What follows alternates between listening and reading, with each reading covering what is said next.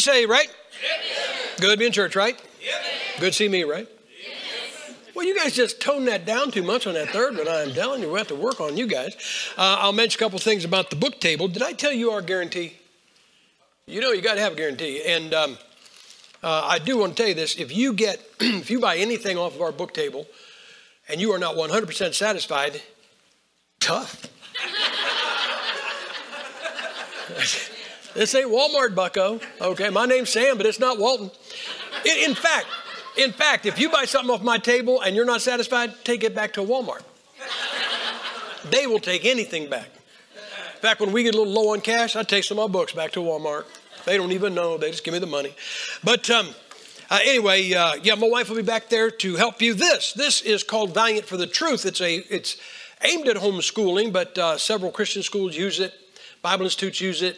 Uh, sometimes just an individual, an adult who didn't get a chance to learn something about the King James Bible, they get it. Um, guys, I'm in a King James Bible church every time I preach. And, um, and I come into a King James Bible church, I hear this all the time. I can't, it, it, it just drives me crazy. Uh, it'd be a, it's either a parent, brokenhearted parent, or a brokenhearted pastor.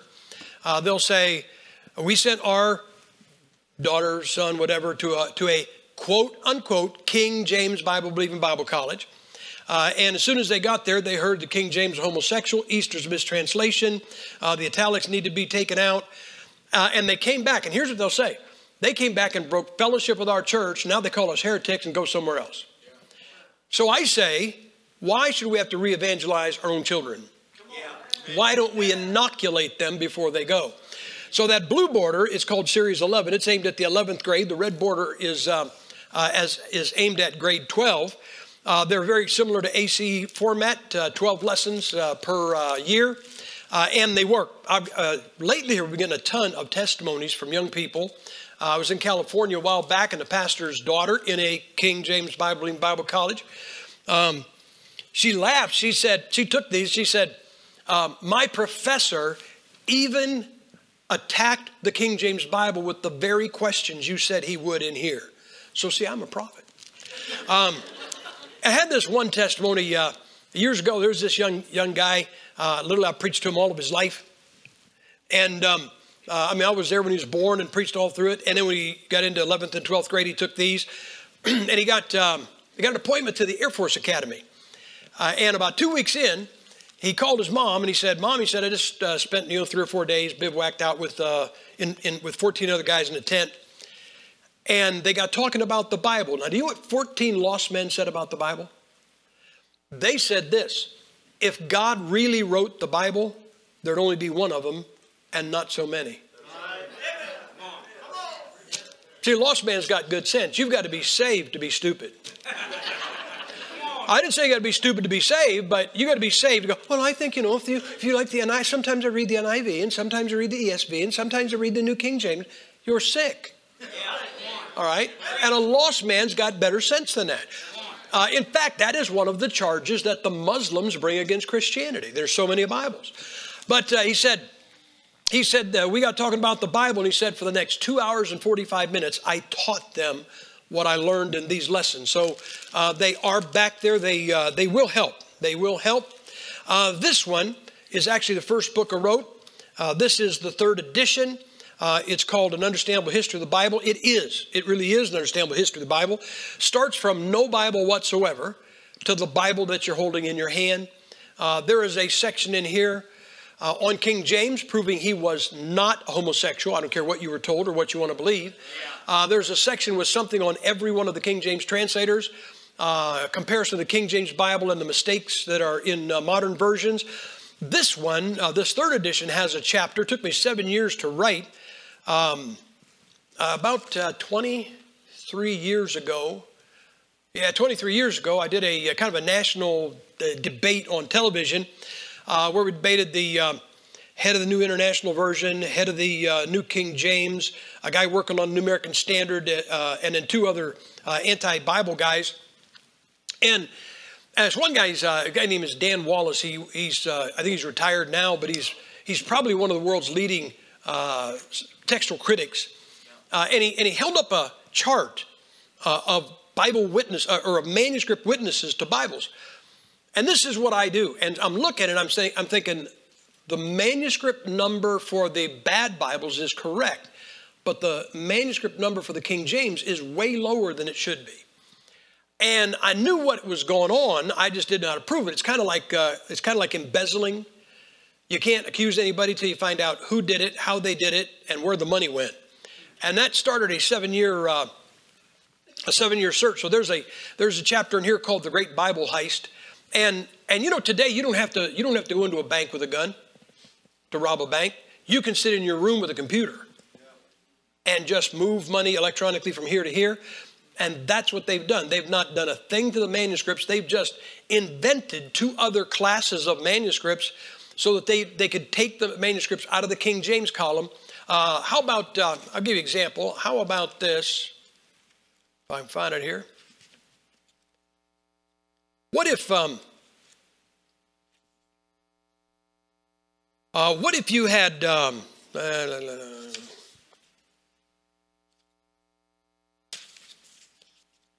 What if you had $271 in a bank account? You'd have somebody else's bank account, I know.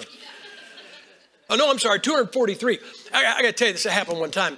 Uh, when we were living in Ohio, my bank called me and they said, Mr. Gipp, we've made a mistake with your bank, with your bank account. I said, what is it? They said, we, we deposited $5,000 of someone else's money in your account. I said, thank you. I said, My last bank only gave me a toaster. But what if, um, what if you had um, $243 in a bank account and you went to draw it 100 and they said you can't because you don't have enough money? Sure, I got $243. They say, No, you only got 71. You know somebody stole your money. That's the number of uncial witnesses, 243, that back your King James Bible and with the new system of, of juggling the numbers, it's 71. So, so that is uh, that is a uh, it is an understandable history. The preacher told you about that lady. Uh, she was a Roman Catholic, about 85 years old, got saved. Uh, they gave her that book. She promptly broke a hip trying to pick it up. But um, anyway, um, that may be a help to you. Uh, this, this, I didn't write this. We published this. It's called Thy Kingdom Come. This is volume one. There's a volume two. And uh, you know what historical novels are? where they tell you the history, but they, they, they kind of have it in a story. And that's what this is kind of like about the Bible. I'll tell you where we've gotten comments on this. Parents have teenagers that don't want to read. And they get this and they start reading. They enjoy reading and they learn something about their Bible. So those are back there. Uh, this, and I will, I will explain this, guys. I am not a Calvinist, but I was predestinated from the foundation world not to be one. So it's really not my fault. I tried being a Calvinist once, but, but not being one was irresistible. Uh, and again, about, uh, well, this back in, uh, oh man, I think uh, 09. I think 09. Uh, we, we debated some Calvinists, uh, and um, it was like, uh, and, they, and believe it or not, the Calvinists were King James Bible believers. They're just messed up on Calvinism. And then there were the King James Bible believers that were not messed up on Calvinism. And we debated these Calvinists, and we won, but it was predestined. But anyway, um, this is uh, this is two DVDs, uh, two hours per DVD, so it's four hours on Calvinism. Now, let me explain something. The reason we did this, and, and it actually was after I did this that, that this kind of uh, opened up to me. Um, the contemporary movement, it is being infested yes. with Calvinism. Yeah. I mean, Calvinism sweeping through the contemporaries like, like fire through dry grass. And I wondered about that, but then I, I figured this out, and really this is what it is. Even a nominal Christian wants to know some Bible. And Calvinism is what I call lazy man's theology. If you can spell tulip, you think you know the mind of God. And so, uh, and if you study church history, uh, you start, uh, you know, from Jerusalem coming across through Europe, you'll find that as as a nation spiritually died, Calvinism increased, which is exactly what is happening in this country right now. So uh, Calvinism is sweeping through the contemporaries. That may that may help uh, arm you on uh, on what is wrong with it. Okay, uh, and there's some other things back there. Just throw your wallet down there. We'll give you something. Um, open your Bibles to Ephesians chapter six. Ephesians chapter six.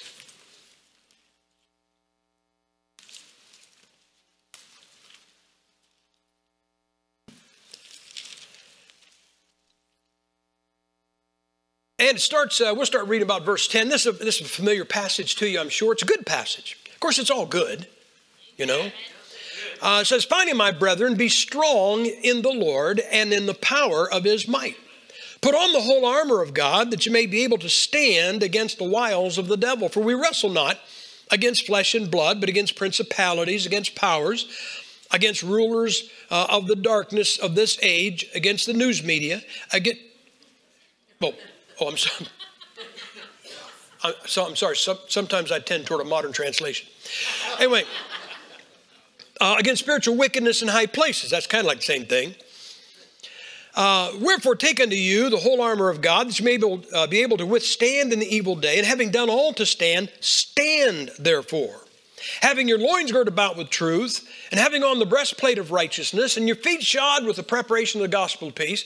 Above all, take the shield of faith, wherewith you are able to, to quench all the fiery darts of the wicked uh, take the helmet of salvation and the sword of the Spirit, which is the word of God, praying always with all prayer and supplication in the Spirit, and watching thereunto uh, with all perseverance and supplication for all saints. Let's bow our heads. Let's talk to the author of these words. Father, it is good to be saved. God, uh, I am impressed with you.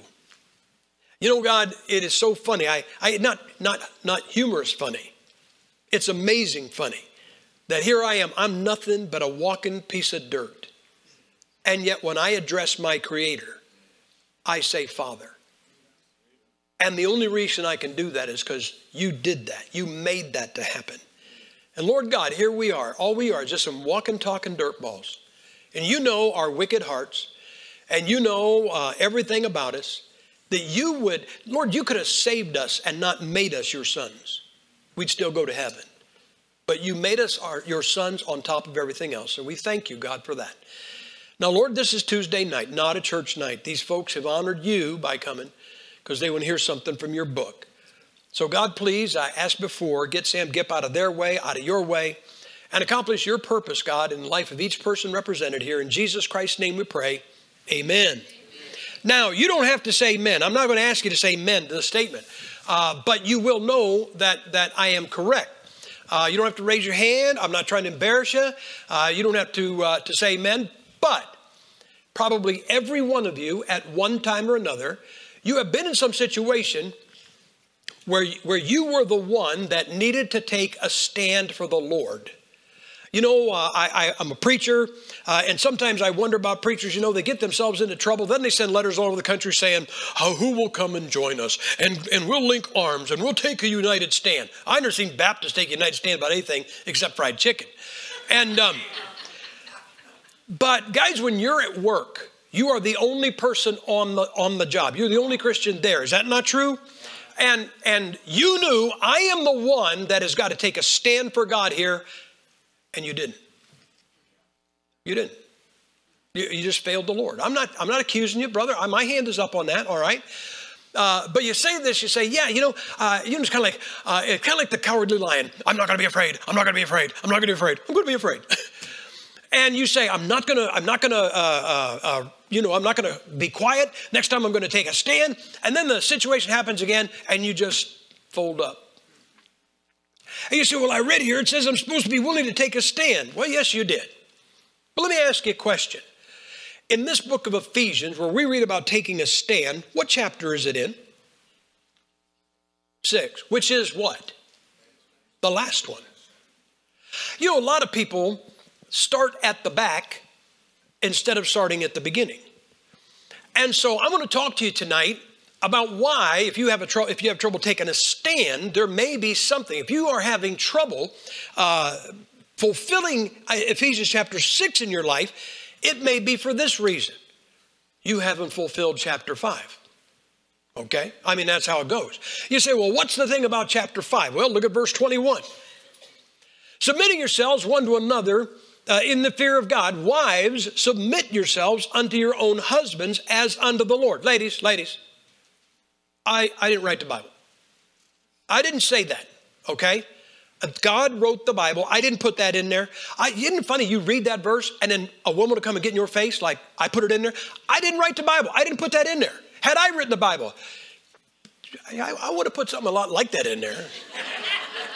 I mean, it probably would have said something about a cup of coffee, chocolate chip cookies, my slippers in the paper, but um, it says, Wives, submit yourselves unto your own husbands as unto the Lord, for the husband is the head of the wife. Even as Christ is the head of the church, and he is the Savior of the body. Therefore, as Christ, uh, as the church is, sub- is subject to Christ, so let the wives be to their own husbands in everything. Husbands, love your wives, even as Christ also loved the church and gave himself for it. Then, if I'm talking to a wife, then here may be your problem. If I'm talking to the husband, here may be your problem. Lady, your problem may be that you're not submitting to your husband. Now, nobody wants to talk about that, that anymore. You know, I was telling the pastor either today or yesterday, and this is the truth, guys. You know what's wrong with our country right now? It is being run by a bunch of overbearing women and effeminate men. Now, lady, don't come up after church and get in my face about that because I'll know. Tell that worm of a husband to get up here and tell me, and I'll know. Okay? But the fact is, that's what it is. I mean, everybody's a Hillary, you know. Everybody is some some uh, woman that just gets in your face. But I just don't like that, and they all think that you have to change for them. And then you get some man. You know, let me let me explain how this works. Here's dad. Here's mom. Here's their kid. He's playing football. Here's what the old man says: Son, go in there and hit him hard. Make them cry. And then mom says, Now, honey, you, you don't hit them too hard because if you hurt somebody, then you're going to feel bad. Now, you want to know which parent is right? Both of them. Oh, really? Both of them are right. That is the way a father should be. And you don't want a mother to be like a father. That's a woman needs compassion. She, she needs a lot of compassion. You know why? Because we don't have any. and I'm not even in the market for it, okay? I'm not trying to get any. But um, uh, but, but see, here's the thing. The dad says, go in there and hit the kid hard. Mom says, don't hit him too hard. That's not a problem. Then the kid goes into the play to play the ball, the game, and the mother, the wife looks at the husband and says, now you shouldn't tell him that because he's going to hurt somebody someday, then you're going to feel bad. And he goes, yeah, honey, you're right. I'm sorry. And that's when he just became effeminate. That's when he just surrendered his masculinity. I was preaching in a church, you know, and I said something. I got a bumper sticker back there. Oh, I said something about, remember the other day I said something about people from Kentucky. Excuse me, brother, nothing personal. Uh, and I got a bumper sticker that says uh, public education is child abuse. You say, well, why do you have a bumper sticker that says it? Because it is. I'm sorry, it is. I didn't say public school teachers are child abusers. I said that the system is, is child abuse. I told you when you when you bring lesbians and homosexuals to talk to five and six year olds and tell them you might be one of these, you ought to give it a try. When you tell them they don't, they're not even allowed to know what sex they are. That is child abuse. Well, I said that. I just said that in passing in the love, uh, the, love, lovely way I said it. Uh, and after the morning service, this woman's walking by and I said, How you doing? She goes, Well, not bad for a child, child molesting hillbilly. And I said, Why? She says, I'm from Kentucky. I didn't know they let her out. Anyway, um, and she says, And I'm a public school teacher. Now, listen, if you're a public school teacher, I am not accusing you of child abuse, but that system is child abuse. Yes, when I was in school, the education part of, edu- of, of the public school system was being deleted. They went to new math, which nobody could learn, so that we would not know math. Then they destroyed history. Then they destroyed the sciences. Now those are long gone. Now they're nothing but social engineering. Okay? Uh, and so this woman says, You know, I'm from Kentucky, and I'm a. And here's what you could tell this woman was used to having men apologize to her. She probably, you remember, you know, in World War II, them bomb runs they'd have and they'd put another mark on the side of the fuselage of the plane. We, we had another bomb run. Somewhere she had a mark with a bunch of men. Made him bow, made him say sorry, got that guy. And, uh, and so she started, you know, she started with her little thing, you know, waiting for me to apologize. And I said, well, ma'am, I said, if you're a public school teacher, you got to know better than anybody in this church that that system is child abuse. And so that didn't work. So she tried something else. Uh, and, and I knew where this was going, okay? Uh, and it got to the, the, the woman's last resort. She started crying. I was really brokenhearted. And, um, but I told her, I, I wasn't abusive to her. I said, ma'am, I said, I don't want to make you cry, but I said, you can cry all day long. I am not apologizing for what I said because it was not in error. Yes, oh man, I am telling you what. I mean, she called the pastor that afternoon. He almost canceled the meeting. Then he kept it going, and she left six months later. She grabbed the worm of a husband she had by the ear and drug him out of there. Okay? And, and, and that is an overbearing woman. And this, na- this nation is run by a bunch of overbearing women. Yes, yeah, you know, I was, I was telling your pastor, we get these men come back from combat and, and they've killed people. And a woman says, Don't you feel bad about it? And you know what he feels bad about? That he doesn't feel bad about it. You know what that, that, that, what that classic answer they asked the Marine, when you shoot somebody, what do you feel? Recoil. But see, he says, the guy, no, you know what he's doing? He's doing what a man has to do. Guy, ladies, ladies, you don't want us to be like you because someone has to go kill people. Yeah. That's why we're free. That's what men do. So then a man comes back and he's, he, he kills people because he has to. Uh, and then somebody says, and he doesn't feel bad about it. Well, we'll make him feel bad about it. Let him alone. Quit turning him into a woman. All right? And so that book says that a woman has to submit to her husband. Maybe you're having a problem with that. Lady, maybe, maybe you have a problem with it. Now I know what you're going to say. And I think you might be right. You might say, well, you have to understand, my husband is the one that took all of our life savings and put it in Enron. And what we did salvage, uh, you know, we, uh, we, we put in this solar panel company that Obama told us about. you know what? That's a very tough thing because she's still got to submit to him. Here's what women say women say, I'm supposed to submit, but if I could just understand what he's thinking, then I could submit. That's not going to happen. It's not going to happen. You know why? Because women and men don't think alike. Hallelujah. Oh, I just got my heart lightened there. But that's the truth. Well, wait a second. You know what? Aren't we the bride of Christ? And you know what I hear Christians say? God told me to do something and I'm just not going to do it. I hear people say this all the time. They go, Well, when God tells me to do something, when God tells me to jump, I just say, How high and where to? Which is exactly why you're never going to do anything for God. Because you're going to wait until God is reasonable, explains how high you're supposed to jump and where to you're supposed to jump. You say, well, if I don't know how high and where to, well, how about this? If you're jumping for God, how high? How about as high as you possibly can? Yeah. Well, where to? How about straight up? If he wants you to land someplace different, he can spin the globe under you while you're in the air. Is that not true? But we're all sitting around, and here's what people, men say this. Well, you know, if God would just explain to me why he's doing this, yeah, that's exactly what your wife says about you, pal. And you know why God is never going to explain it to you? Because we, humans, and God don't think alike. Amen. And so, lady, maybe you're having a problem with submission. It is difficult. I will admit, it is difficult. But that's what you're going to have to do. Maybe, lady, the reason you can't take a stand in Ephesians chapter 6 is because in Ephesians chapter 5, you're not submitting yourself to your husband. Now, men, look what it says about verse 25. Husbands, love your wives.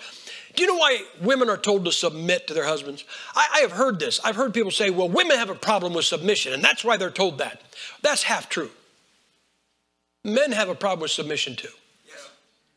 The difference is this in a man's life, there's basically two places he really has to submit. If he goes to the military, he has to submit, and if he gets a job, he has to submit. But if you go to the military and you get tired of submitting, don't re enlist right? And if you got a job, you know, I we have three sons, and I used to pray. I think this all young men, when they get out of the house, at least their first or second job, they should work for a mouth breathing idiot. They should work with a guy. I, I, said, son, when you go out to get a job, see if the guy's got four holes in the side of his face. He's been trying to eat with a fork again. Work for him. You say, why is that? Oh, come on, guys. Haven't you ever worked for an idiot? Yes. I mean, I, I worked for this guy one time. He's an idiot. And um, uh, I was running some wire. We, were, we, we did remodeling and insulation and, and all the stuff. Uh, and we were running a security system. You are looking at the guy that read the instructions. Men don't read instructions. I did because I'd never done this before. And you got to run. You got to run uh, two separate lines. And my boss said, "No, you don't. Run one." Every window, every door has to be its own circuit. You have to go to that window and back, and then to that window and back, and all the way to that window and back. You don't run it in one big series. and um, and he said, run single wire. I said, I said, no, no, you got to run two strand. He goes, run single. I said, yes, sir, you stupid idiot. Anyway, um, and so I did. I got done. He energized the system. It didn't work. Then he picked up the instructions and he said, You're supposed to run two wire. Thoughts that go through your head are not always legal. I said, Okay, I'll do it. And he couldn't understand why I was done an hour later. It took him a whole day to run this wire, and I'm done an hour later. You know why? Because I knew he's an idiot. And I knew it wasn't going to work. So I ran, I ran Siamese wire, one line, one, uh, one side uh, black coating, the other side white coating. I, I leaned it all hooked up to the black. When it didn't work, all I do is just change some wire nuts, flip this one white, black, white, black, white, black. Whole thing worked. He said, how'd you do that? So I'm pretty smart. but he's an idiot, okay? He's an idiot. But a man, if he doesn't like being in the military, if he doesn't like submitting there, or if he doesn't like uh, submitting at work, you get another job. But a woman has to submit to this guy all her life. But then it says this, men, husbands, love your wives. Now, I want to say this, ladies, don't don't don't shut me down on what I'm about to say. Let me finish my statement, okay? Women say some stupid things. Oh, they do, they do. Remember, lady, the dumbest thing you ever said? I do. Anyway, um, but women do. They they say some stupid things. Now, wait a minute, lady. Wait a minute. men also say stupid things. And I don't believe this. I don't believe that women say things that are more stupid than men. I don't think men say things that are more stupid than women. It's just a different class of stupid, okay? When a woman says something stupid, it's so obvious, everybody just gets a chuckle. I mean, you know, a woman will say something, and I'm like, do, do you really? Oh, you go, oh, I can't believe, I, I can't believe excited. Everybody has a laugh. When a man says something stupid, he thinks it ought to be etched in granite and memorized by children.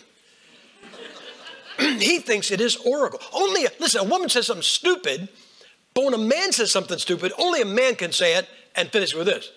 Huh?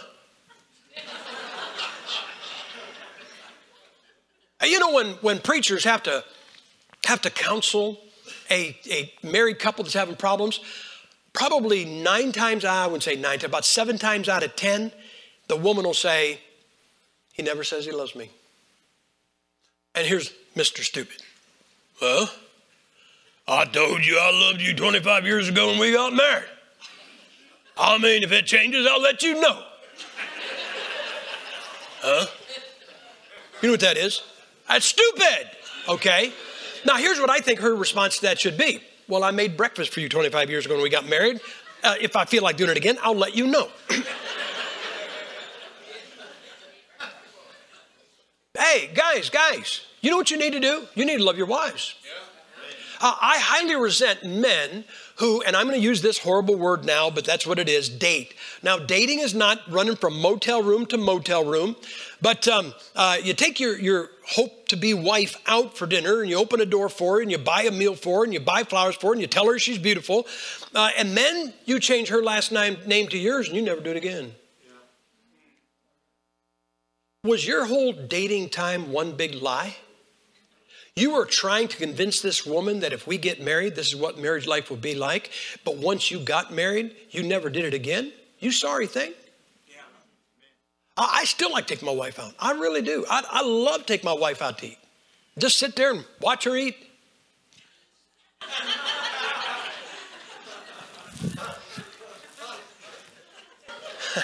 honey, honey, Maybe you could use silverware. Yeah, I, I know, but it's spaghetti. well, could you just use one hand? But um, I was telling them last night, man, I still run off with my wife. I tell my preacher friends, it's okay to run off with your own wife. Some of these guys got the right idea, they just got the wrong candidate, you know. But um, hey, I still take my wife out. Uh, I buy her flowers. Makes me so mad when I buy her flowers.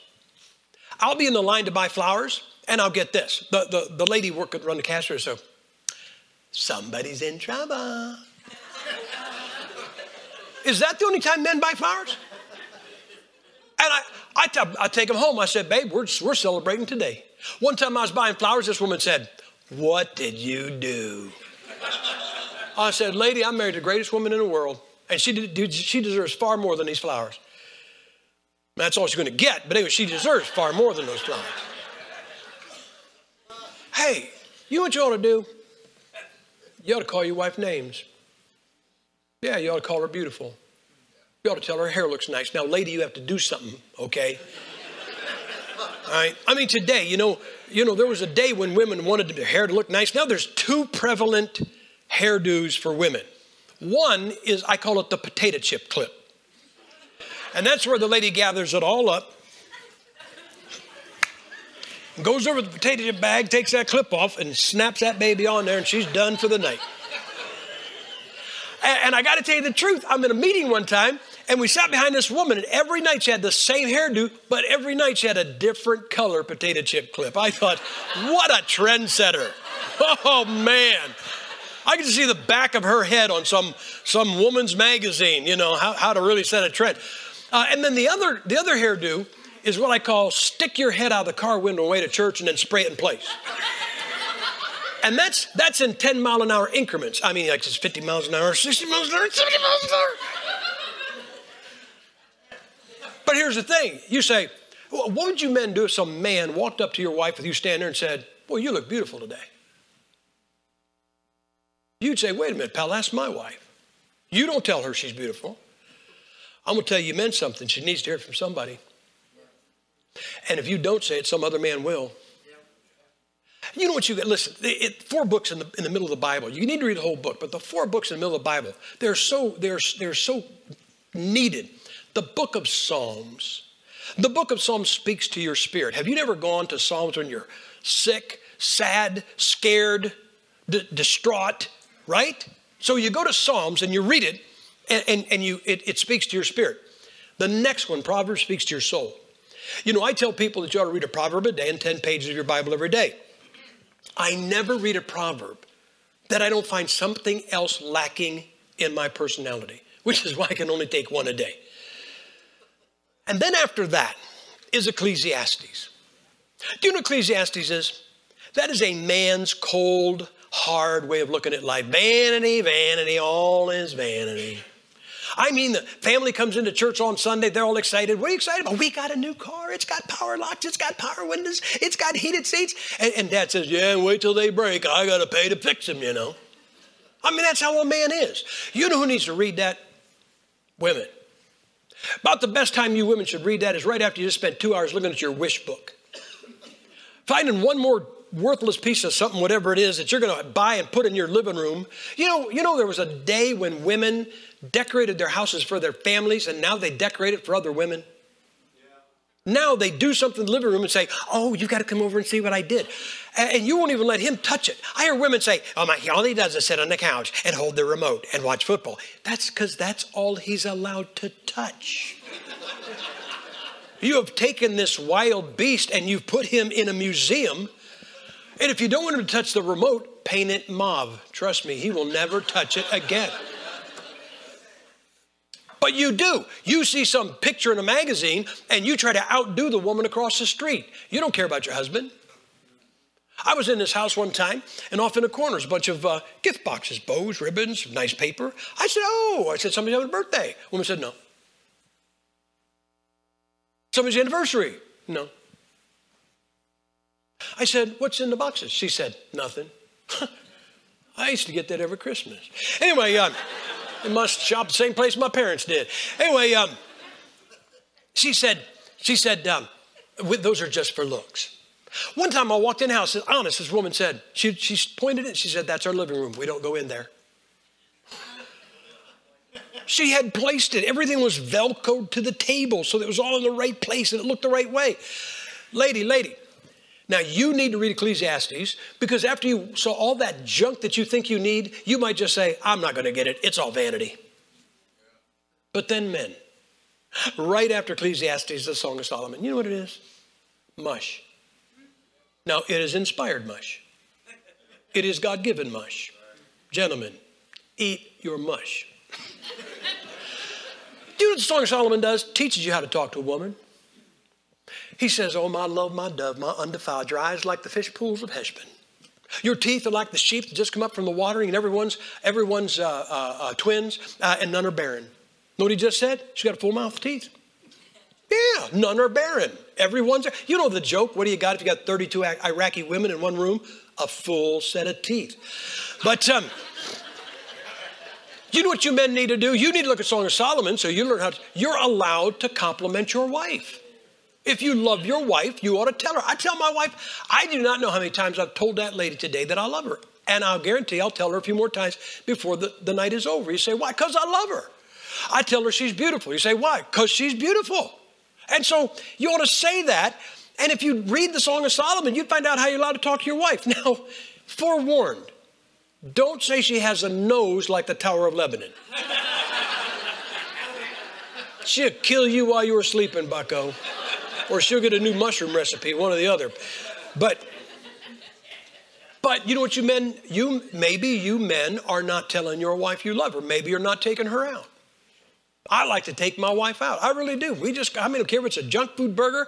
Uh, you know, we'll leave here Thursday, drive 550 miles Thursday, start a meeting Friday, uh, and and uh, we're going to get a donut. We love to get a donut, and a cup of coffee when we take off, uh, and then we'll stop for junk food burger because uh, that's vitamin J. I told you, and. Um, and we like it, but I just enjoy being in the truck with her. And I'll sometime during the day I'll look over and say, I'm just glad you're here. Why don't you tell your wife you're glad she's there? Why don't you tell her she looks good? Now, lady, try to look good. but what I'm telling you people is maybe you can't take a stand. You know what happens to a good soldier when he gets a Dear John letter?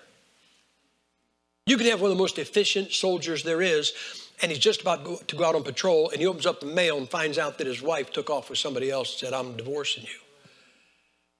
And now he can't take that stand. He's not good. Maybe you're having trouble Ephesians chapter 6 taking a stand for God because your marriage, Ephesians chapter 5. You haven't taken care of chapter 5. How are you going to take care of chapter 6?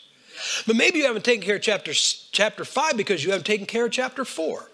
And chapter 4 tells us about our, our relationships, listen to this, with God. You need to have your relationship with God to be right.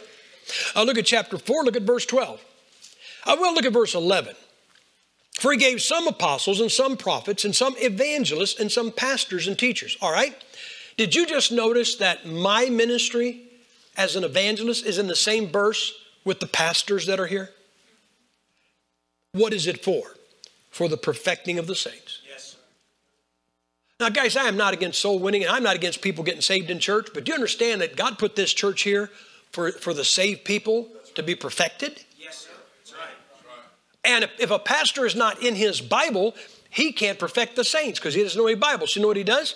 He, well, I, I don't want to say it, but just like, guys, don't we have a complaint? I'll bet you have a complaint that everybody, every, every welfare mother in this state knows how to have children, but she doesn't know how to raise them. And we have churches that they can, I've heard guys say, well, my church is a spiritual maternity ward. Yeah, it's full of babies. And it's, we were, we were, we were someplace, I don't know where, as one of the three boys were with us. And, and we went to this church. We had an open Sunday. We went to this church. And I don't tell people I'm going an evangelist or anything like that. I tell my wife to tell them. But, um, but look, really, really, I mean, if you had a man and his wife and three kids, and they all come in suits, ties, worn out Bibles, and say amen and know the hymns, wouldn't you figure they're probably saved? Okay, so he preaches Sunday morning on salvation. Well, okay, because that's, you know, Salvation Sunday, or he's trying to get people in the morning, and that's when you bring the visitors. And sometimes Sunday morning is the evangelical one, and Sunday night's more for the church. And the guy got done after Sunday school on how to we win people to Christ, Sunday morning about the need to be saved. He said, Now come back tonight. I'm going to be teaching on the necessity for salvation. We went somewhere else. You say, Why? I don't mean it's bad. We don't need that one. I don't need to know about salvation. I'm saved. You understand? I don't need to learn anything more about how to do it. I want to go as a saint. And I want to go to a church and find out what's wrong with me so I can make it right for God. So, what are we here for? For the perfecting of the saints, for the work of the ministry, for the edifying of the body of Christ. Till we all come in uni- in the unity of the faith. Of the guys, guys, if, if we're going to be here till we're united, the Lord is never coming back. until we uh, come in the unity of the faith and of the knowledge of the Son of God, unto a perfect man, unto the measure of the stature of the fullness of Christ, that we henceforth be no more children, tossy. You go to church and you grow. We no more be children, tossed to and fro and carried about with every wind of doctrine by the sleight of men and cunning craftiness whereby they lie in wait uh, to deceive. But speaking the truth in love, may grow up into him in all things, which is the head, even Christ. Watch this. From whom the whole body, fitly joined together, compacted by that which every joint supplieth, according to the effectual working of every measure, uh, uh, the measure of every part, maketh increase of the body unto the edifying of itself in love. So, what did he just say? He said the whole body's supposed to work. You go to church, you know what you find out? You find out what you got to change to make God happy. You know, I, I led a good, a good friend of mine after I got saved. Uh, he was a high school friend. Uh, he had hair down over his shoulders, and I led him to Christ. I didn't tell him to get his hair cut. I told him to read his Bible. And you know, I could tell when he was reading his Bible because he came to me one day and he said, Well, you know, I think uh, if God wants me to cut my hair, he'll make me want to. I thought, Well, I wonder, wonder why that stood out. I think I might have known he'd been in 1 Corinthians a little bit. But he said this He said, If God wants me to cut my hair, I think he'll make me want to cut my hair. I said, No, no. I said, If God wants you to cut your hair, he'll tell you to cut your hair. I said, if he makes you want to cut your hair, then you're cutting it because you want to. But if you don't want to cut it and you know he wants you to, then you're doing it for him. I'm going to tell you people something. I don't know the, I don't know the answer to this question. I am not seeking the answer to this question. Maybe I still like the taste of beer. I said maybe. You say why? I hadn't tasted it in 48 years. Gave it up. Got saved, quit. But I didn't quit because I didn't like the taste anymore. Do you understand? I quit because as a Christian, that was no testimony to have for God. Amen. You say, where'd, where'd you get that from? Going to church. Amen. I got edified. Yeah. I found out there was something wrong with me. And you know what I am? I'm part of the body of Christ. Now, you know what your complaint is? Who doesn't complain about a part of the body that does not work? Called a pastor. A pastor called me the other day. Uh, I got a meeting with him uh, a year from now up in Pennsylvania, and, uh, and he said he's walking with a walker. And he said his ankles are bad. And his ankles are so bad that the two, the two um, remedies the doctor said is we'll cut both your feet off. Literally cut them off above the ankle. Or we'll, real, we'll, we will rebuild your feet. You will lay in bed for six months, and then you'll, you'll recuperate for another year and a half. But in talking, no and he says, and I still feel good. He said, I feel great. He said, just my ankles don't work right. And he went, stupid ankles.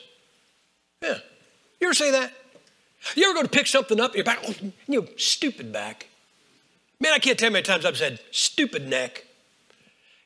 You know what? We are part of the body of Christ. You know what? Whatever part I am, you know what I hope God doesn't say?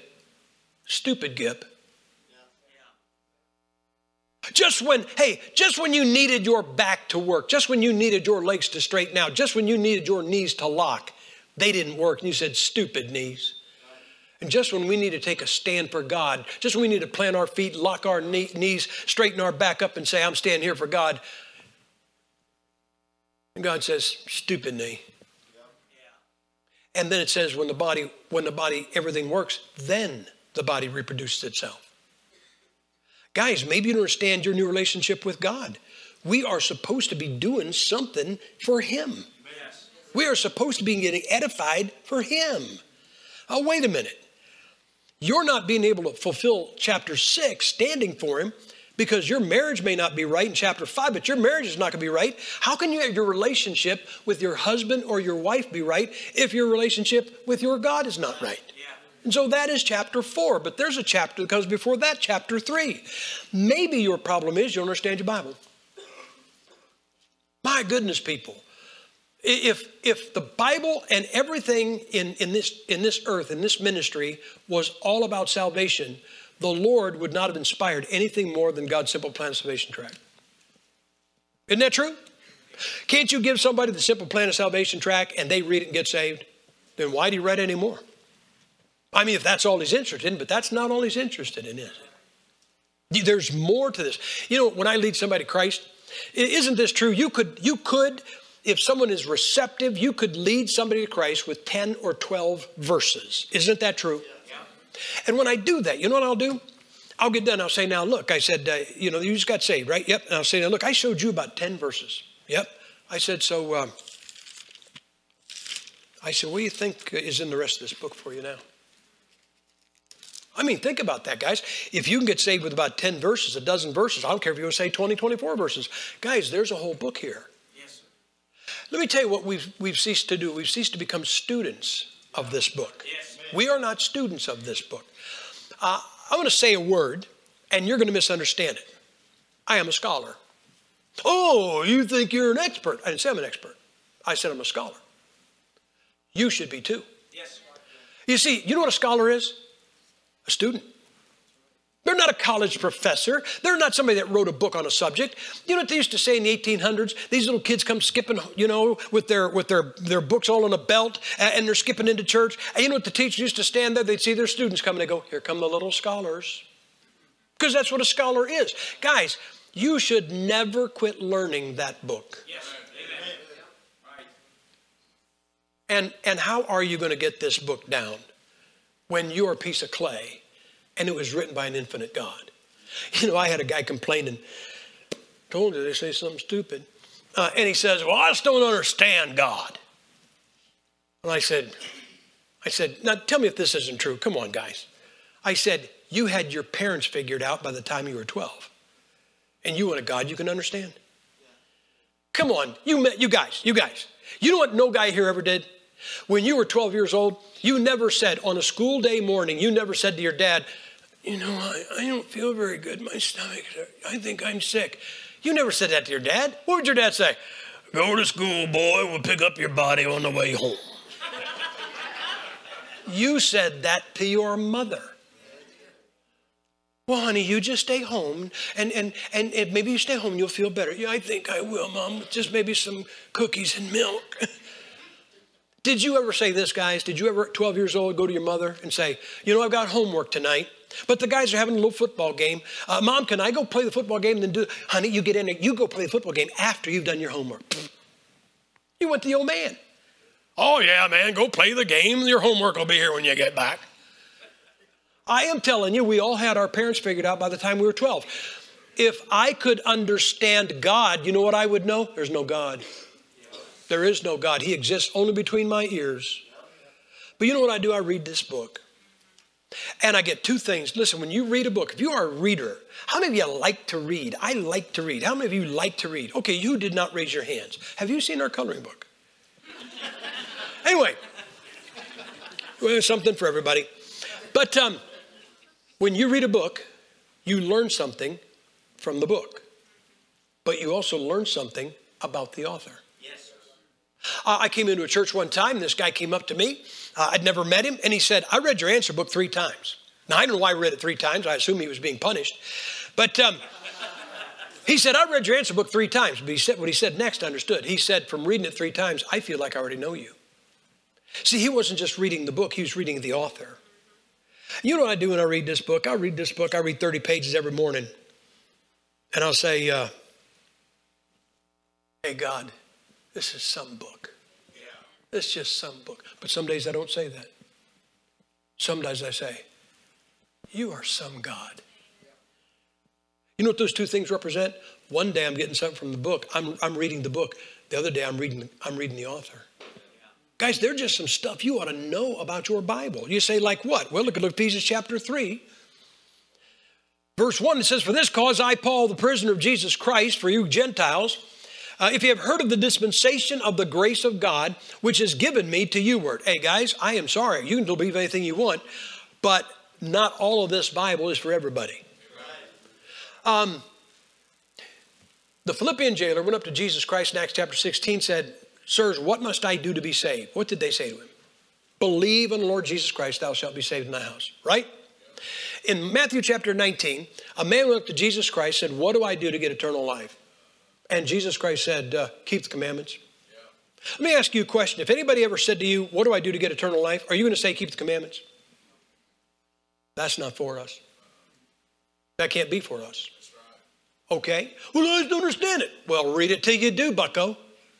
Just because, you know, you get people that they don't understand. They, they read the Bible one time. Come on, what did you ever do that you liked to do that you didn't do so good the first time? And you tried it and you tried it and you tried it and you tried it and you tried it till you got good at it. But then you read the Bible one time, if you don't have the whole thing mastered, well, I'm just not going to read it, keep reading it. Yeah. You need to learn something about dispensations. Look at verse 4. Whereby, when you read, you may understand my knowledge of the mystery of Christ. Do you understand there's mysteries in this book? You're not going to understand a mystery. You know why? Because it's a mystery. It's not a who done it. It's not somebody killed somebody and, and framed somebody else. But God has some mysteries in here. I know people like mysteries. And then you say the Bible's boring? You say there's nothing in the Bible you like? If you like mysteries, why aren't you reading the mystery book? Look what it says in verse 6. This is one of the mysteries. Uh, verse 5, which in other ages was not made known unto the sons of men, it is now revealed uh, unto his holy apostles and prophets by the Spirit. Look, here's the mystery Verse 6 that the Gentiles should be fellow heirs and of the same body and partaker of his promise in Christ by the gospel. You know what we were in the Old Testament? Dogs, barbarians. But that's all we were. And the Jews rejected their Messiah. And you know what the Lord did? He opened the door to you and me. Be careful what you say. You know what I never say? I never say I'm glad Israel rejected Jesus Christ. But I say I'm thankful. I wish it would have been good. I think it would have the best thing could have happened would be for all of Israel to say, "Yes, you are Messiah, and we'll take it. We'll take you." But they did not. But because they did not, guys, you and I got in. Yes, you should understand that. And so now, even though we call ourselves Gentiles, according to 1 Corinthians chapter 10, verse 32, if you were born a Gentile and got saved, you're not a Gentile. If you were born a Jew and got saved, you're not a Jew. I love these, these Gentiles get saved and they go, well, you know, I've replaced Israel. I'm a Jew. Well, if you're a Jew, you're not saved. Because in 1 Corinthians chapter 10, it says Jew, Gentile, and Church of God. Now, that's not talking about the denomination Church of God. That's talking about people who've trusted Christ their personal Savior. And so Paul refers to himself, he said, I am a Jew by nature, but not anymore. You understand? Not spiritually. Not now he's in the body of Christ. Now he's, a, he's part of the church of God. You ought to understand that. oh, look at verse 7 whereof I was made minister according to the gift of the grace of God given to me by the effectual working of his power, unto whom, uh, unto me who am less than the least of all saints, is this grace that I should preach among the Gentiles the unsearchable riches of Christ. Oh, everybody likes to be rich. You know, I have to laugh, I have to laugh because people, you know, the news media says something, a bunch of stupid people say amen, they don't even mean it. I have to laugh how Americans badmouth the rich right? And the guy that's bad mouthing the rich has a lottery ticket in his pocket hoping to become one. right? I'm not like the rich, but I'm hoping to be. I, look, look, if the rich are so bad, how come so many people are trying to become the rich? Because maybe the rich aren't so bad. Really, maybe they're not so bad. Maybe there's some bad rich people, and maybe there's some bad poor people. I am not too sure, but most people that kill somebody robbing them aren't the rich. It's the ones that are trying to become them. But guys, you want riches? How about the unsearchable riches of Christ? You know, if the pastor of this church or any other pastor here, if you did this in your church, if uh, next Sunday the pastor gets up and says, Now I want everybody to tell us how you got saved, your testimony, how you got saved, that'd be a precious service, would it not? And the next Sunday comes and he says, Now, this Sunday, what I'd like you to do is uh, I want everybody to tell us how you got saved. Well, okay, so, you know, you hear that again. That's good. That's good. And the next week he says, Now, um, I want you to tell us how you got saved. Don't you think after about six weeks of that, you'd say, Get the tape? I would just get up and say, "Ditto." Didn't you? Weren't you here last week? Look, it's great to be saved, but if you ask somebody how to get how they got saved, they only have one answer. They only have one story, right? But what if he said this? This Sunday asked how he got saved. Next Sunday says, Now here's what I want you to do. Tell us what God did for you in the last seven days. And then the next Sunday says, Now tell us what God did for you in the last seven days. And the very person that last week told you what he did would tell you what he did this week and the next week. You say, When does it end? Done end. It's unsearchable.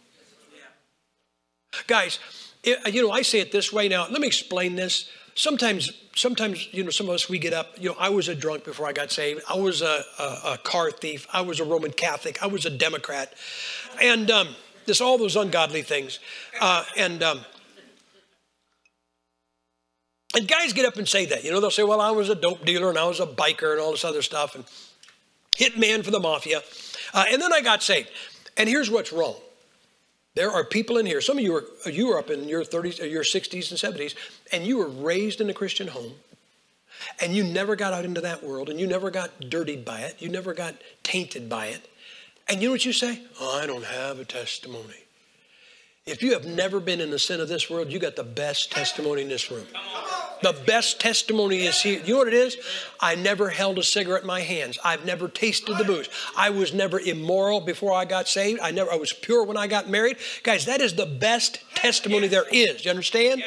It's just that some of us don't have it. And for those of us who don't have it, I say it this way. Some of us got found in a ditch. Remember where you were? Yeah. Now tell me if this isn't true. If the Lord found you in a ditch and would have saved you, and left you in the ditch where he found you, you'd still be better for that, for what happened.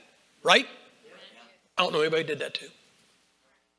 I don't know anybody got saved, and when they opened up their Bible, there was no 2 Corinthians chapter 5, verse 17. It went from 16 to, 15, uh, to, to 18. Yes. Therefore, if any man be in Christ, he's a new creature, old things are passed away. Behold, all things become new. Yes. And guys, it has not stopped. It is unsearchable riches of Christ. Look at verse 9. And to make all men see what is the fellowship of the mystery, uh, from which the beginning of the, of the world hath been hid in Christ, who created all things, or in God, who, who, who, who created all things by Jesus Christ. You need to understand creation. And I want you to know, I'm not talking about theistic evolution, I'm talking about creation. They had me witness to this guy years ago. He was a physicist. They always give me those kind of brainy guys. And so, um, and so we're talking, uh, and, um, and I said, uh, Tell me what you believe. Now, you know, some of you are, you are intimidated by scientists. Why would you be intimidated by somebody who doesn't believe the Bible because they believe there was a dust cloud that blew up? I mean, don't you think it could be, the answer could at least be something that sounded smart? And this we started. Well, you know, I think there was a big cloud of dust and it, uh, it blew up but it actually kind of blew in because um, when the dust cleared, there was the earth. Guys, let me tell you something. I am not explosives expert. I mean, other than maybe setting off some M80s and things when I was a kid, I really am not big on, I'm just not explosive expert. But, but if evolution is true, we could take this pulpit out into the field back here, put a stick of dynamite in it, blow it up, and when the dust clears, we had a three bedroom house. Now, you see, you laugh. But is it the same thing? That, that this amoeba? By the way, everybody says John was the first Baptist. I am here to tell you he was not. The amoeba was the first Baptist. Oh, yes, yes, very Baptistic. Only gets so big and then splits. if I ever pastor another church, I'm going to name it Amoeba Baptist Church. oh, look, we're big enough. Some of you leave. And so this guy's telling me all this stupid stuff he believes a cloud of dust and a high ho silver. And, uh, and then, you know, this uh, amoeba crawled out of a mud puddle and he was a frog. And then he climbed up in a tree and he got a tail and his tail fell off and he became a college professor. Now, you should ask your evolution believing friends what they believe. And when they're telling you, do this snicker and, and, and, and chuckle. You say, oh, that's disrespectful. Yeah, well, so why would you do that? Well, if you don't do that, they might think that what they're saying makes sense. But he knew what I wanted. See, I asked him what he believed. You know why I asked him. Because he's going, okay, preacher, what do you believe? But before I could say anything, he says, you don't really believe. just, and did you ever notice all that tolerant crowd? They don't any tolerance with creation. I've never had anybody say, well, you know, I believe in evolution, you believe in creation, but hey, let's go get a cup of coffee. It's always, I believe in evolution and you believe in creation. And that's what he said. He said, he says, you really, the venom was dripping. You really believe that God just spoke the universe into existence in seven 24 hour days? Forgive me, guys. Forgive me, I'm sorry. I, I just realized if I dared say yes, he'd think I was the stupidest person on the planet. I said no. Six.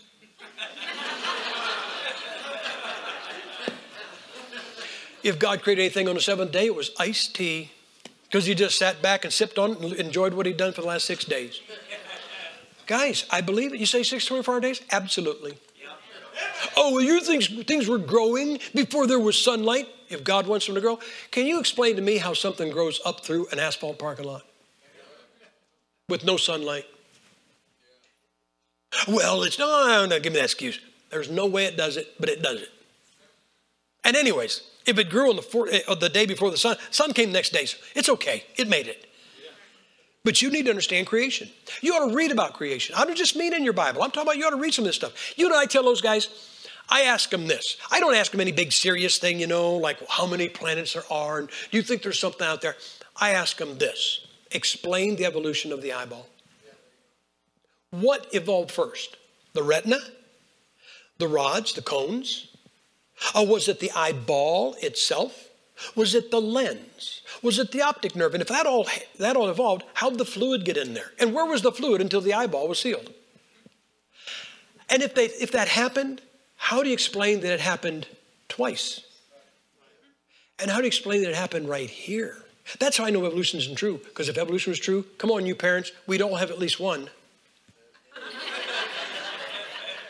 right? Come on, man. Doesn't evolution, you know, is there's no God, but evolution seems to give you what you need? right there. But aren't you glad that, that your eyes evolved right here? What if they'd evolved here?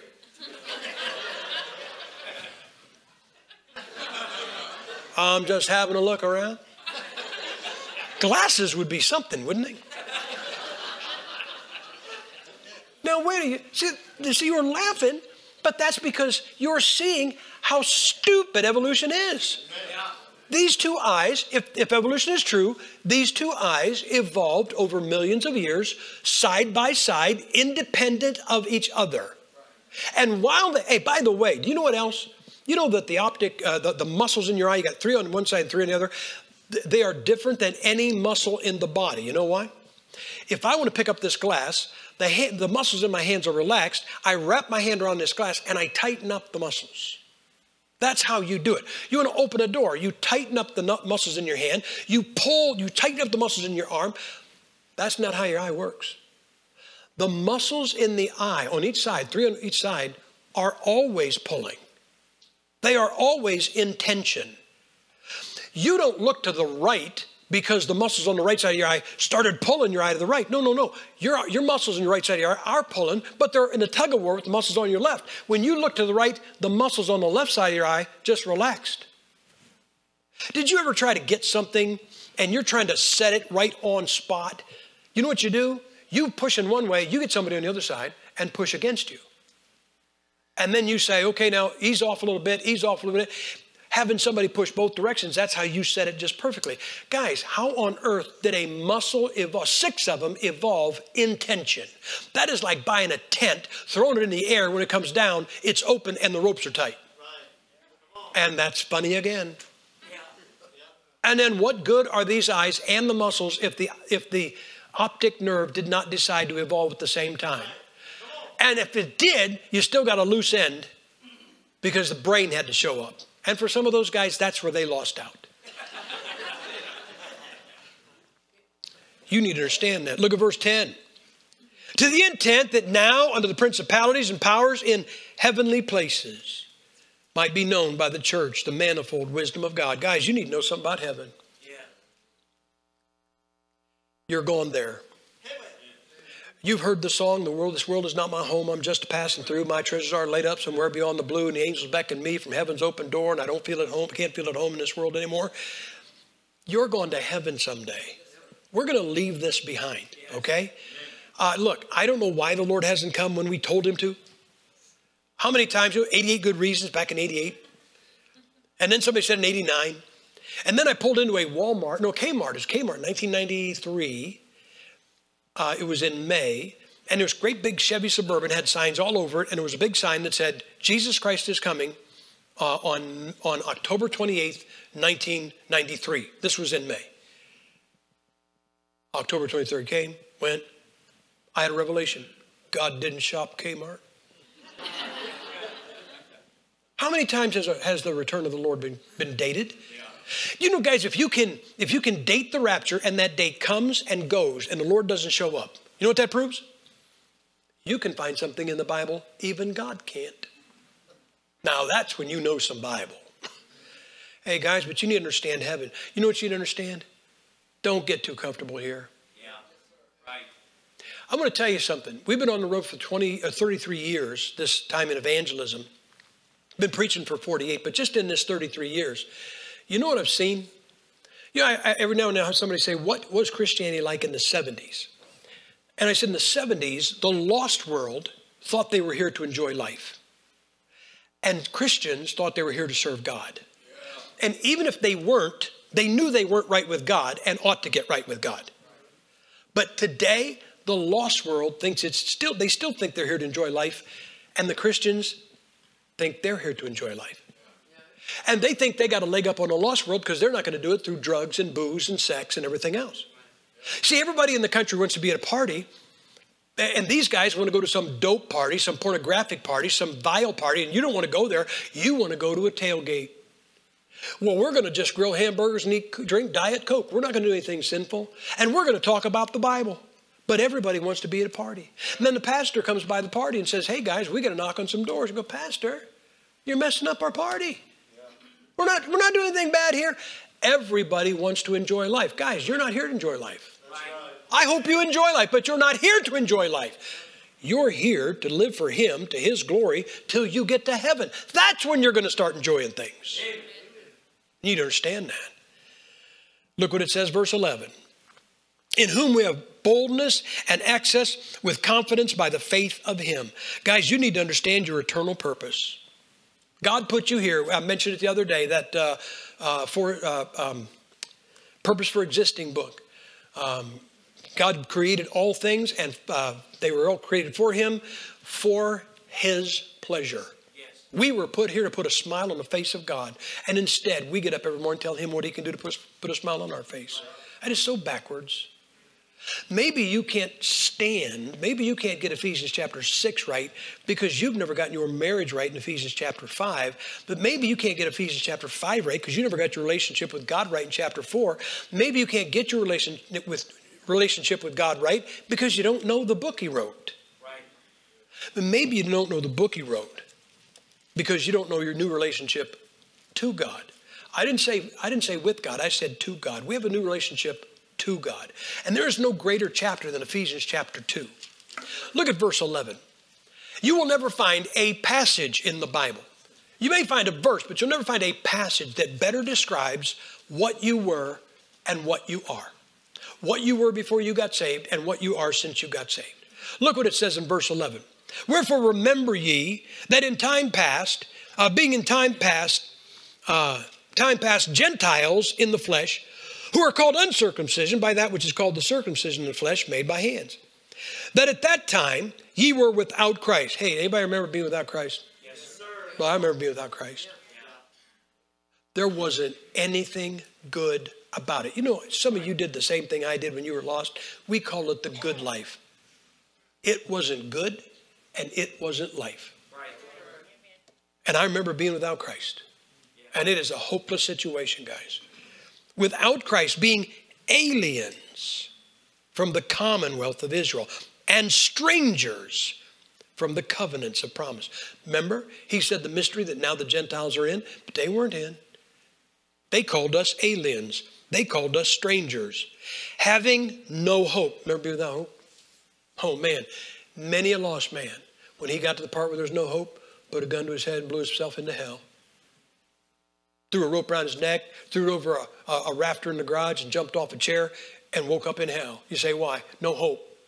You should never say you're without hope. Right. And without God in the world. I remember being without Christ. I remember being without God. But now in Christ Jesus, ye who sometimes were far off are made nigh by the blood of Christ. For he is our peace, who have made both one and have broken down the middle wall of partition between us. You know how repulsive we were? We were so repulsive to God, He put a wall up to keep us separated from His chosen people, Israel. That's why we were separated from the covenants and the promises. We couldn't, we couldn't claim the promises of the Old Testament because we weren't Jews. Did you ever have a, you ever put up a fence because you can't take the neighbors partying? partying? That's what God did. He put up a wall of partition and then he'd come and he'd meet with his people. And on the other side of the wall, he heard the howling of the dogs. He heard the, the braying of the barbarians. He heard the partying of your distant relatives and mine. Don't you get this mistaken, guys. Don't you think that black people all came from tribes and Indians all came from tribes. Because I'll tell you, white folks, something. Go back to Europe and go far enough back in your line, and your kin came from tribes too. We were all a bunch of tribes. We were all a bunch of heathen, and we worshiped tree trunks and rocks and bashed each other's brains out while the crops were growing. And so God put a wall up so he wouldn't infest his people. And he said, Look how he felt. Look how he felt. 15, having abolished in his flesh the enmity. He felt enmity toward us. You ever feel enmity towards somebody? Oh, not me. That's because you're a femme. There's somebody you, come on, isn't there anybody you ever looked at and you went, oh man, well, I used to want to feel self righteous. Oh, you can hear. I'm going to tell you something, people. If you're ever sitting in a restaurant and two guys come walking in, skipping, holding hands, and making eyes at each other, if you don't feel enmity right about that time, I ain't having lunch with you. They're just some people you see, you ought to have enmity. You say, well, you think you're better than them? Yeah, I am. You say, well, that's, that's proud. Oh, no, it's not. I don't molest children. Uh, you know, I'm, I, I was, uh, I always get this, you know, the brother Jim, they give me the microphone, guys, give, the sound men, they give me the mic, or the pastor give me the mic. And he'll say, uh, oh, what do I have to do? He said, you don't have to do anything. He'll turn you on when you get up there. I said, I ain't found a man can do that yet. I was riding with a pastor he's had a lot of heart problems. Good friend. He was one of my students about oh, 40 years ago. And he's had heart problems and we're driving. And he goes, he goes, you know, brother, I, I got a tightness in my chest. I said, you think you're having a heart attack? He said, I don't know. I said, well, I just want to let you know. I said, if you need mouth to mouth, you are a dead man. I said, you see these lips? I said, these lips will never touch them lips. I said, if you feel yourself slipping away, tell me what you want me to tell your widow, bucko, because that's all you're getting out of me. I told my college class that I teach, I said, you guys, I said, if I fall down here, clutch my chest, and start gasping for air, don't you dare come put your lips on my lips. You think I want to tell somebody I'm alive because some one of my students kissed me? I said, hey, girls, give it a try. But anyway, I feel it coming on right now. But hey, guys, guys, there was enmity. We were aliens. We were strangers. We were barbarians. We were dogs. So he put up a wall. Having abolished the enmity which the law, uh, uh, even the law of, of, commandments contained in ordinances, uh, for to make in, him, in himself of twain one new man, so making peace, that he might reconcile both unto God in one body by the cross, having slain the enmity thereby, and came and preached peace to you which were afar off. Remember being far off? I remember being far off. I, remember being far from God, brother. There wasn't anything good about it. There wasn't all this stuff about it. I remember the good old days. There were no good old days. You know, I had some guy tell me one time, he goes, Oh, you Christians, you don't have any fun. I said, We have fun. I said, We just don't count our good times by how much we threw up last night. I mean, you, you having a good time if you haven't woke up in your own vomit, right?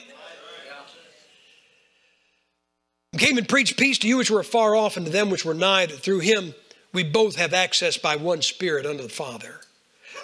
Let me, let me tell you what happened. I was preaching a number of years ago in uh, Baltimore area.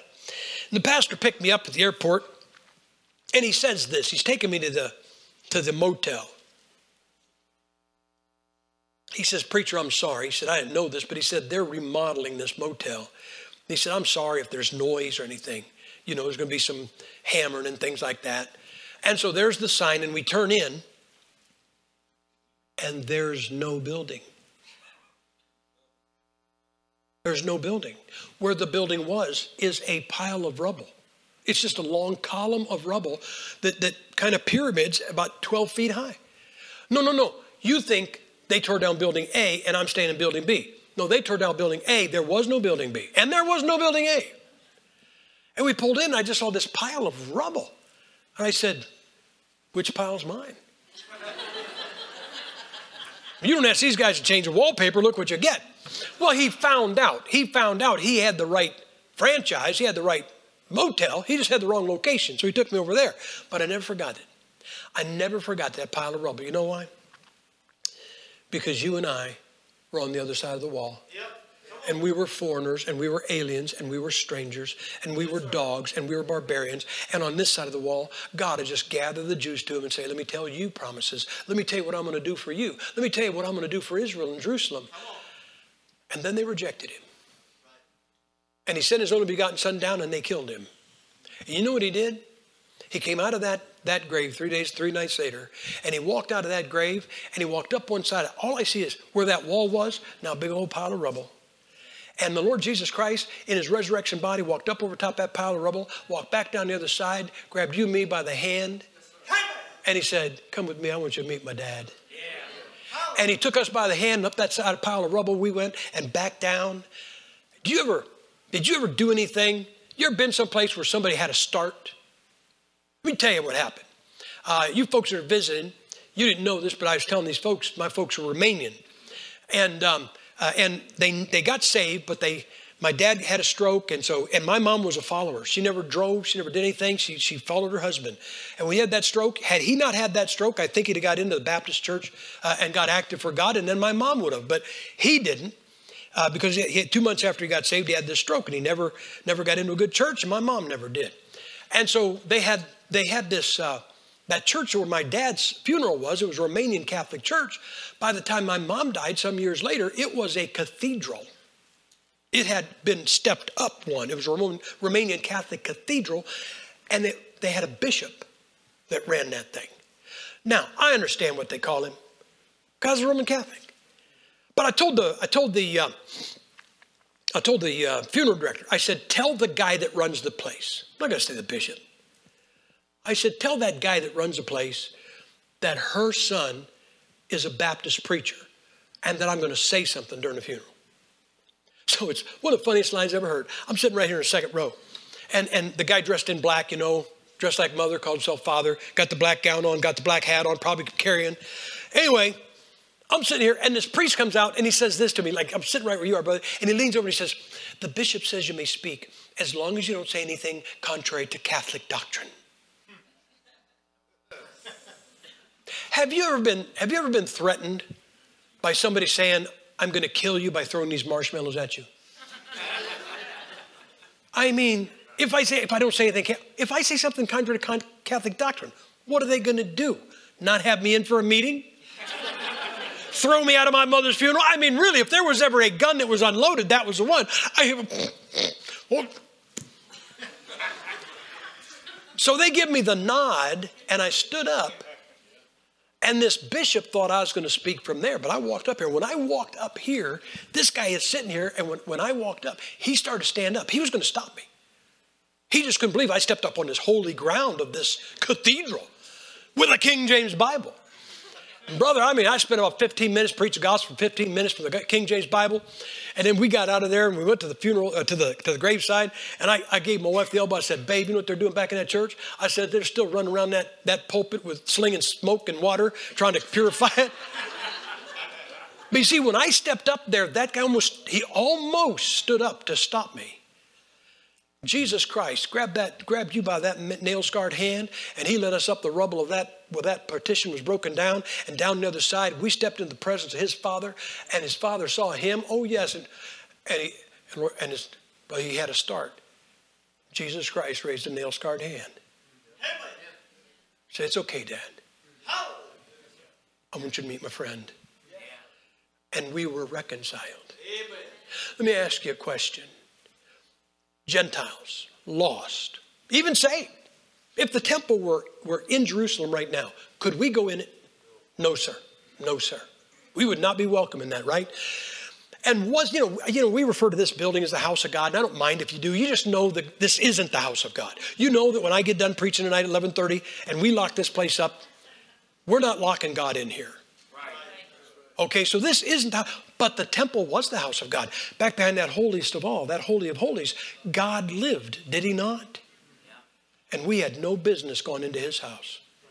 But now look at verse 19. Now, therefore, you're no more strangers and foreigners, but fellow citizens with the saints and of the household of God. Guys, can I tell you why you're going to heaven? Because you belong there.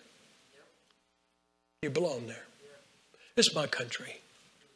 I've told you I travel around this world, and I've traveled in third world countries. I've traveled where the communists said they're going to kill me before the week was out, and I've traveled where they got electricity and you can drink the water and everything is just fine, other than driving the wrong side of the road. But I'm not a citizen there, and I never feel right till I get off the plane in this country. This is where I belong. You understand? But you know, this world, we don't belong here. We're going to heaven because that's where we belong. You know what's wrong with some of you? You're trying to feel comfortable in a country that's not really yours. You can't figure out why you can't get comfortable. You're never going to get comfortable because you don't belong here because your citizenship is up there. Now, look what it says. Verse 20. Three of the most amazing verses. And are built upon the foundation of the apostles and prophets, Jesus Christ himself being the chief cornerstone, in whom all the building, fitly framed together, groweth unto an holy temple in the Lord, in whom ye also are builded together for an habitation of God through the Spirit. Before we got saved, we weren't allowed in the temple. We weren't allowed in the house of God, right? Now I am the house of God. What know you not that your body is a temple of the Holy Ghost, which is in you, which you have of God, and you're not your own? If you're bought with a price, therefore glorify God in your body and your spirit, which are God's. This is the temple. This is the house. This building is not the house. I'm the house. You're the house. You know who's the house of God? The person that wasn't even allowed in it one day. You know who is the house of God? Somebody who is a stranger and a foreigner and a barbarian and a dog and an alien. But that enmity is gone now. And that partition is gone now. And you, guys, you know what you need? You have to understand that we have a new relationship to God. And until you know you got a new relationship to God in chapter 2, you're never going to understand the Bible in chapter 3. And until you understand the Bible, you're never going to understand your relationship with God or for God in chapter 4. And until you get that stuff straightened out with God, guys, how are you going to get along with a human? Chapter 5, your marriage. And if your marriage isn't right, you're never going to be able to take a stand. But look at chapter 1. Chapter 1, it says this very, very simply. Verse 6 For the praise of the glory of his grace, wherein he hath made us accepted in the beloved, in whom we have redemption through his blood, the forgiveness of sins according to the riches of his grace. You know where this book starts? Salvation. Because, guys, isn't that where you start? You ever meet somebody? I, a, when I, I, was in the staff of a church, about 2,000 people some years ago, and uh, this lady called the church and she said, Have a preacher come and talk to my husband. He needs to get baptized. So they sent me. And I went there, and I still remember this guy's name. His name was Ron. And, and here's what the problem was Ron was being bad. And you know what women want? They want their husband to get enough religion to straighten up, but not so much they want to go, go to church and start tithing. And so she thought he just needs to get baptized, you know, turn over a new leaf. And, and I got talking to him, and he wanted to get baptized. I mean, dunked in a Baptist church. And he wasn't saved. And she wasn't saved. And I said, ma'am, I said, I baptize him and I can baptize you. And I said, it's not going to do either. It's going to not do either one of you any good. You need to get saved. I explained salvation to them. They got down on their knees at their couch. They both trust, trusted Jesus Christ. They got baptized, got into church. But guys, you got people that, that are trying to turn over a new leaf. They're, they're trying some new successful way of living. They're trying to have a better attitude. And you'll just go to hell with a good attitude. Yeah. You go to hell with a religion. Yeah. Look, you can go to hell with any, any name. You understand tonight that there's a place in hell for Methodists? Yeah. There's a place in hell for Mormons. There's a place in hell for Roman Catholics. There's a place in hell for Muslims. There's a place in hell for Episcopalians. You understand there's a place in hell for Baptists? Now, it's, it's probably over here all by itself because even there they won't fellowship with anybody else. I mean, they, Baptists may go to hell, but they'll still keep their convictions. Guys, you know what you need? You need to get saved. How many people said, Well, I just need to quit drinking? No, you need to get saved. Well, I need to change the way I live. No, you need to get saved. I need to turn over a new leaf. Nope, you need to get saved because when you get saved, you are a new creature. It's all taken care of. Yes. You know why some people can't take that stand in chapter 6? Because they never got their marriage right in chapter 5. And they can't get their marriage right in chapter 5 because they can't get their, their relationship to God right, with God right in chapter 4. They can't get that right because they don't know that Bible in chapter 3. And they can't get that Bible because they don't understand the relationship to God, how it changed in chapter 2. And how did it change? Redemption through his blood. Aren't you glad for redemption? Yes. You know what? I, I like that word redemption. I think redemption is more than salvation. I really do. Here's what I mean. And I am not making some new doctrine or anything like that. But I mean this. Uh, again, I, I, think I was telling the pastor. Uh, it's nice to be saved, but I like when people get ruined. Right. Come on. You know what ruined is? Ruined is where you get saved and you go out and try to live like you always did, and all of a sudden you go, I don't belong here. I, I talked to this fellow in church many years ago, and he said, he said, I got saved. Somebody invited me to church, and I went on a Sunday night. I got saved Sunday night. And he said, You know what I did Monday night? He said, I did what I did every Monday night. I went to the bar. Just have, he wasn't going to get drunk, just have a few beers with the boys, because that's what he did every Monday night. But he said, and he said, Look, you understand when this guy got saved, nobody gave him a sheet of paper. You're saved now. You don't drink, you don't smoke, you don't cuss, uh, you don't smile, no more happiness. They didn't tell him anything but that he was going to heaven. And Monday night he went to the bar and he said, I'm sitting at the bar and he said, sitting right next to me is this buddy of mine telling me filthy jokes like he, he did every Monday. He did this every Monday. But he said, he said that this night I'm going, I, I, I don't want to hear these. And he said a couple stools down are two guys who are always there every, every, Monday night. And he said they're just taking God's name in vain and using the name of Jesus Christ in an unclean way like they always did. But he said, I'm thinking, I, I don't want to hear that. And he said, I picked up my beer and he, said, he looked at it and went, I, I, this, this doesn't belong in my hand anymore. You say, what happened? He got saved? No, he got ruined. He got ruined. He tried to go back that life and couldn't. Boy, I'd worry a little bit if I got saved and I fit back into that world. You know what redeemed is? Let me tell you what nobody in this room ever did. You never went and bought a Coke can. Well, maybe the pastor's wife did. you bought a Coke that came in a can. And when you got what you wanted, which was the Coke, which was inside, you got rid of the can. Now, maybe you're, maybe you're like a typical American, you threw it alongside a road, and then somebody came along with a plastic bag, and they, they picked up that can that you saw no value in, and they said, I see a value here. I get 10 cents. I'm going to what? Redeem it. Yes. Where you saw no value, somebody saw value. Well, I don't know what you were like when I was lost. When you were lost, I was really lost. Yes. I was really lost. You know, I, I spent my first night in jail when I was 14 years old, stole my first car when I was 14, got arrested my first time when I was 14. And when I got, when I got in that jail that night, you know what I did? I took the pencil out of my pocket. You say, oh, they didn't let you keep a pencil. Man, 1964, they'd let you keep a gun. they didn't even search you. The, the cop cars had door handles on the inside of the back door. And you just pull the button up and get out. I mean, that's how it was. They put you in jail. They didn't, they didn't have you empty your pockets. And so the walls were white in that jail. And I just walked over the wall, took my pencil in my pocket, and wrote, Sam Gipp. You say, why?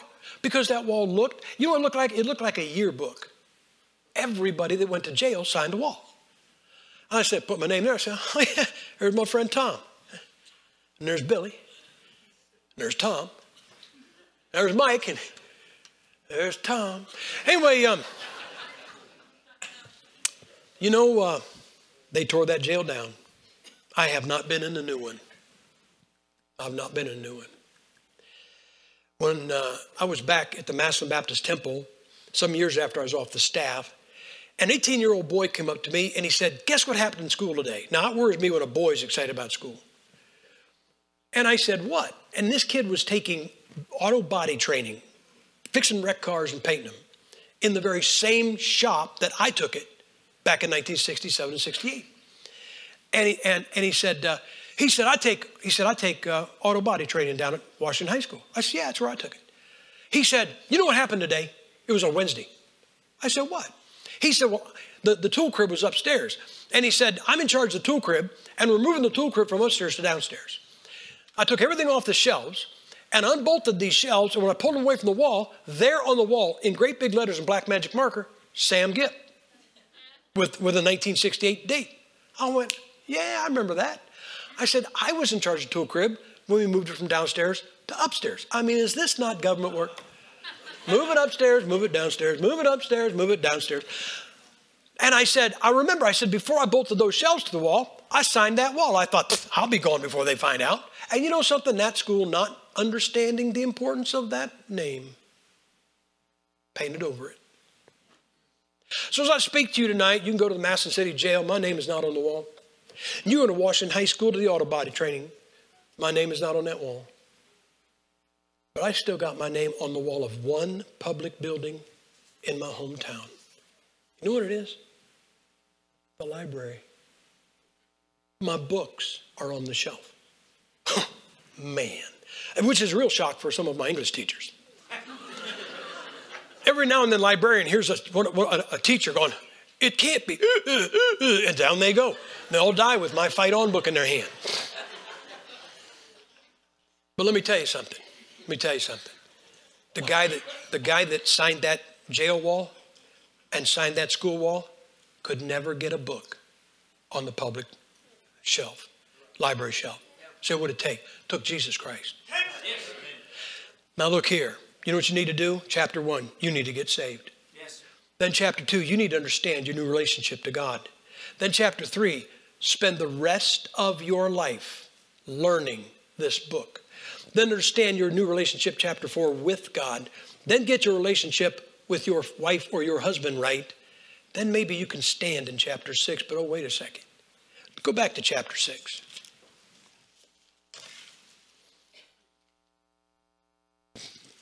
Look what he says there in verse 11 that you may be able to stand against the wiles of the devil. He says there in verse uh, 13, Wherefore take unto you the whole armor of God that you may be able to withstand an evil day, having done all to stand, stand therefore. But that's not what it's about, guys. That's not what it's about. Look at verse 20.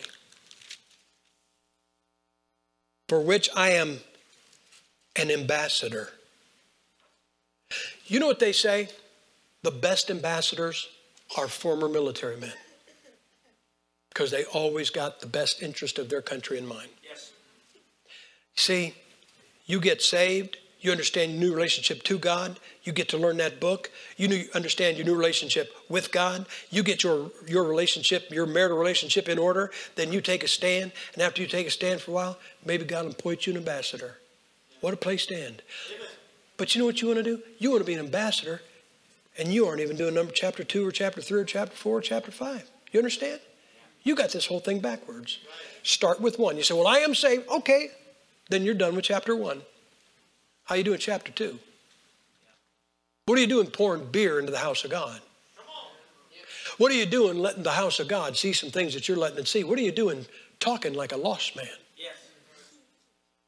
I mean, I get people, they go on my website and they they talk like I did before I got saved while they cuss me, telling me I'm not saved. Guys, why are you not changed from what you were? Yes. Why do you not know the Bible? Let me tell you people something. I'll tell all you church members, even if you're church members from, from one of these other pastors, you get this straight. It is not just your pastor's duty to know the Bible. Right. Amen. He should know it for two reasons. One, because he's a Christian and he should know it. It's his obligation too. But he should know it because he's got to teach you. But you need to be a student of that book until you die. You need to learn something about this book. And you're going to learn that book. And you know what you're going to come across? You're going to come across something you don't like to find out. And that'll be the test. You know what happens to many Christians? They learn something and they go, oh man, I'm learning something. This is good. And they take a step. They go, oh man, oh, look at that. Whoa, this is wonderful. And then all of a sudden, they learn something, they go, well, well if, I, if I do this, I can't keep living like I was. I, I'm just not, I'm not doing that. I want to be a Christian, I'm going to be a fanatic. Your spiritual growth stops right there. And some of you, you know why you aren't growing spiritual, spiritually? Because you grew, you grew, you grew, and then you saw some place God was taking you, and you said, Well, I ain't going that far. And sure enough, you haven't. But if you're going to stop at chapter 3, don't expect to get to chapter 4 or 5 and 6. You chose to stop. You need to be saved, chapter one. You need to understand your new relationship to God, chapter two. You need to get this book, read this book, study this book, learn this book, teach this book, chapter three.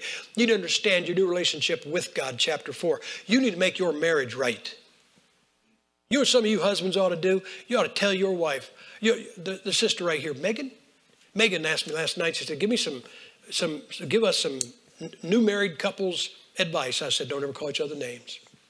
46 years, my wife and I never called each other names. I call her nice things, but I don't call her ugly things. You get mad at your husband, you get mad at your wife, you call them names. They'll never forget that. Oh, but I asked them to forgive me, but they never forget that it must have been in your heart because it came out your mouth. I told them, I said, I said 46 years ago, I thought that was a good idea.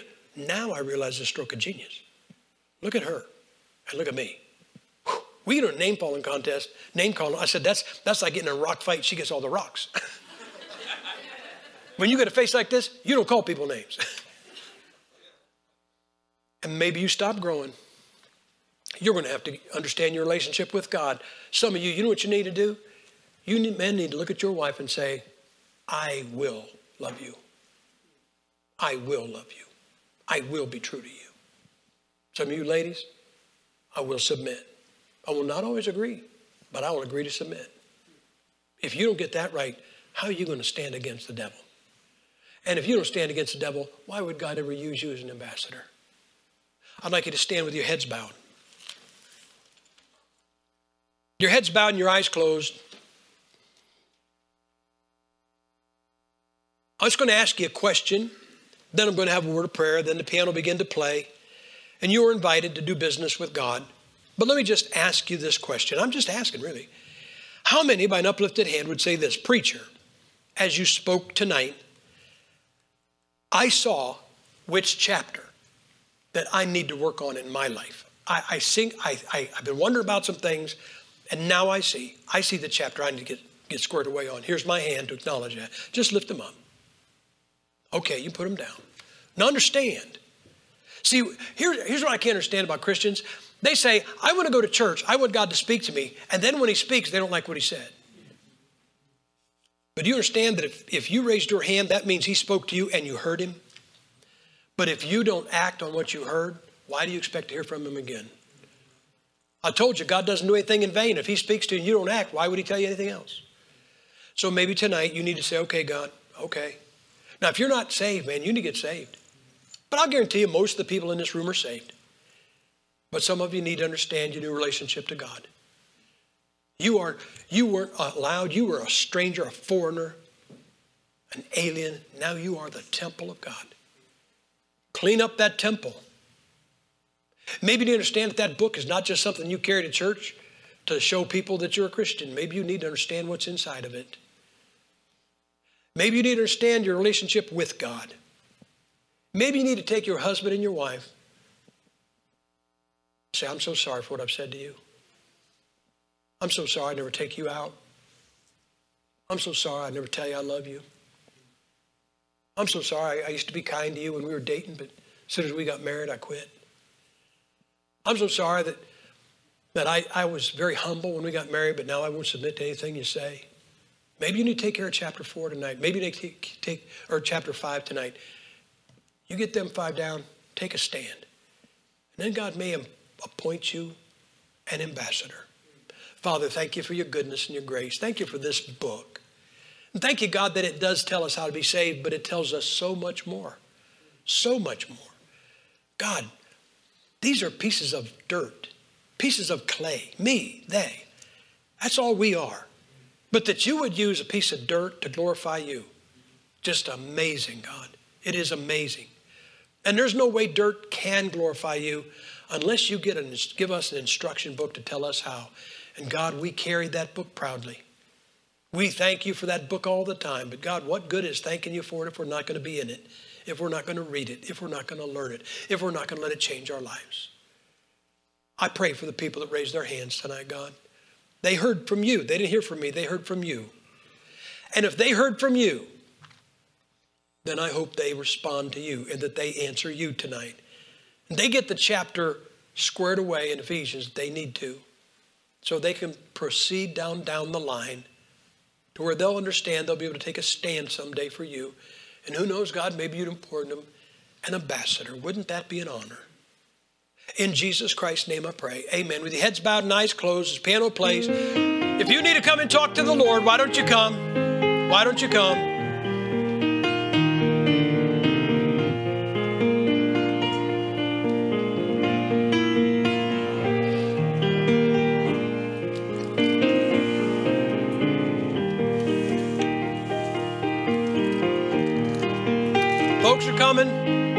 There's room for you. If you need to come, you step up, talk to the Lord. If God talked to you, it's time for you to talk to Him.